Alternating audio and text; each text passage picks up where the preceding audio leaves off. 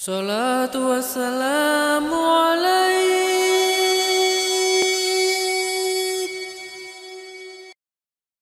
يا إمام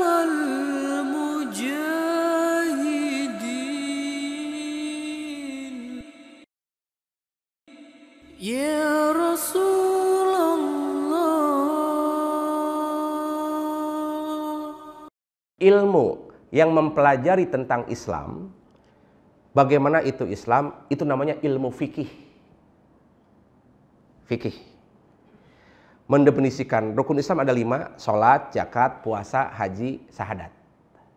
Nah, itu ilmu fikih menerangkan sholat itu harus rukunya begini, sujudnya begini. Subuh itu dua rakaat, isya itu empat rakaat. Ketika Ramadan harus puasa 30 hari. Kemudian kalau mau umroh atau haji harus ke Baitullah ke Mekah. Tidak boleh tawaf di Senayan City. Gitu ya. Itu fikih. Fikih itu eksak, Pak. Fikih itu eksak. Kalau ada sholat jenazah tidak boleh ada ruku dan sujud. Harus ada empat takbir aja Allah Akbar. Itu rule fikih yang menentukan. Ada orang sujud, kok kamu sujud? Maaf Kang, kebanyakan dosanya nih sejenazah gitu. Ah, ngeles itu ngatu. Nah, yang yang menerangkan tentang sholat jenazah, puasa, zakat itu eksak, Pak. Ilmu pasti fikih itu. Nah, fikih fikih yang sudah muktamad itu ada empat. Ada fikih Imam Hanafi, ada fikih Imam Maliki, ada fikih Imam Syafi'i, ada fikih Imam Hambali. Sok ini. Nggak ada fikih Jubaidi, nggak fikih Surabaya, nggak ada. Fikih yang empat ini. Gunakan fikih ini. Ulama-ulama mujtahid ini. teh. Kita baru saja keluar S1, baru saja belajar tafsir, sudah menjadi mujtahid. Jadi ulama fatwa. Belum juga paham fikih itu. Sudah ikut dulu ke Imam Syafi'i, ke Imam Maliki. Ini fikih. Nah, ilmu yang menjelaskan tentang Islam namanya fikih.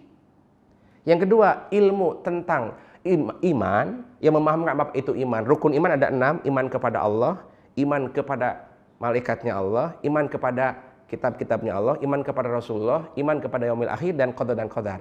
Yang memahamkan rukun iman itu namanya tauhid. Ilmu tauhid. Naik ke atas tentang ilmu ihsan, namanya ilmu rasa. Nah, itu namanya ilmu akhlak atau ilmu tasawuf. Kalau sisa usia kita sibuk di kantor, sibuk membangun peradaban, sibuk membangun ekonomi negeri ini, sehingga nggak ada waktu, minimal tiga ilmu ini kuasai. Dah. Tiga ilmu ini kuasai. Insya Allah tidak akan tersesat. Fikih, tauhid, ilmu akhlak tasawuf.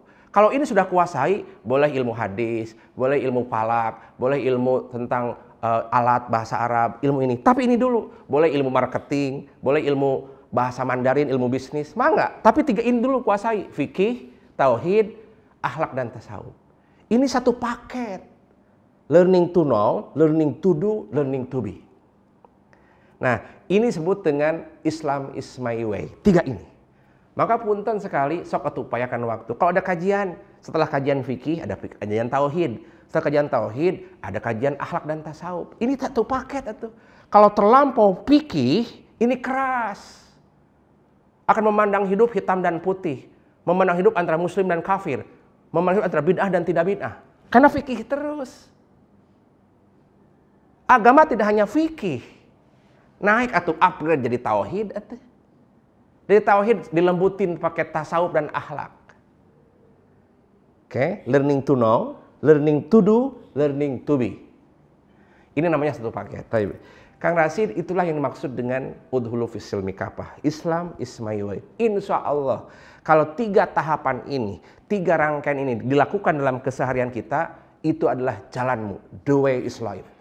Ya, the way of life kita. Maka punten sekali, Kang Rasid punten, kalau boleh saya terjemahkan kayak bahasa Gandaria City. Ya, punten. Islam itu ibadahnya tekun. Rajin sholat, rajin zakat, rajin puasa. Tekun ibadahnya. Iman itu akidahnya kuat. Ihsan itu ahlaknya hebat. Apa tadi? Islam itu ibadahnya tekun. Sholat, zakat, puasa, haji. Tekun banget. Setiap bulan umroh, setiap tahun haji, tahajud, sampai di awal waktu, Islam. Nah, kemudian tauhid itu, iman itu akidahnya kuat. Ke mana pun dia bekerja, sehebat apa pun kecapaiannya, ketika ajan memanggil, dia datang, dia kuat kokoh tauhidnya. Ke mana pun dia ditugaskan, tetap dia tidak tinggal tauhid itu. Itu akidahnya kuat. Nah, gesekan antara tauhidnya hebat, Islamnya kuat, memunculkan akhlak yang hebat. Nah, kalau boleh saya terjemahkan pakai bahasa orang kita, orang yang imannya hebat itu seperti buah manggis. Luarnya hitam tapi putih dalamnya. Kalau yang imannya ragu-ragu, itu buah kedong-dong. Licin luarnya itu, tapi kusut dalamnya. Gitu ya kedong-dong.